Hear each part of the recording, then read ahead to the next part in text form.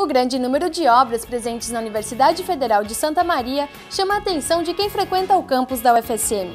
Confira a partir do dia 10 de novembro na TV Campus esses novos espaços e suas finalidades. Perspectivas, programas inéditos nas terças e quintas-feiras às 8 horas da noite.